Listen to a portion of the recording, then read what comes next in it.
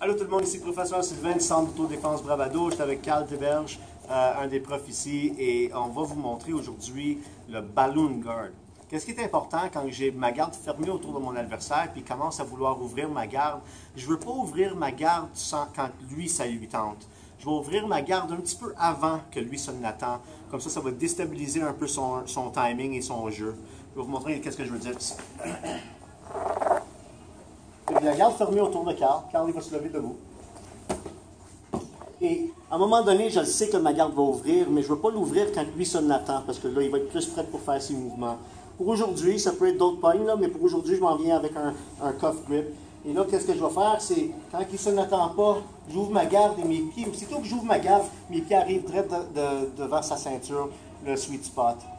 Qu'est-ce qui arrive souvent dans cette situation ici? La personne qui est victime de ma garde commence à reculer. quand Carl va commencer à reculer, remarquez que je vais commencer à m'asseoir avec lui.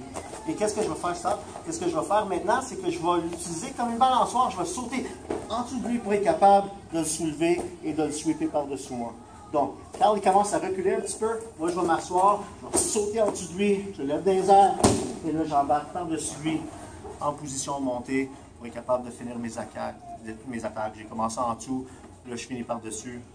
Une bonne situation pour moi. Mon camp. Donc, j'avais la garde fermée, j'ai ouvert la garde, j'ai placé mes pieds sur sa ceinture. Lui, il décide qu'il veut éviter la position, il commence à reculer. Moi, je vais m'asseoir ici. Je vais être capable de me soigner direct en dessous de lui, le lever les airs et l'emmener par-dessus et capable de finir mon sweep, top position mount, two points for the sweep, four points for the mount, et après ça, tu finis la personne. Il y a un petit lien en bas de l'écran, la gang. Le mot d'AO est gratuit chez Bravado. Tapez sur le lien, remplissez vos informations et vous allez pouvoir venir passer du temps avec nous et pratiquer les super beaux moves qu'on fait ici à tous les jours. Euh, likez, partagez et commentez sur notre, euh, nos vidéos pour euh, nous dire comment vous aimez ça. Ça nous ferait plaisir de refaire d'autres vidéos pour vous. Merci, Carl.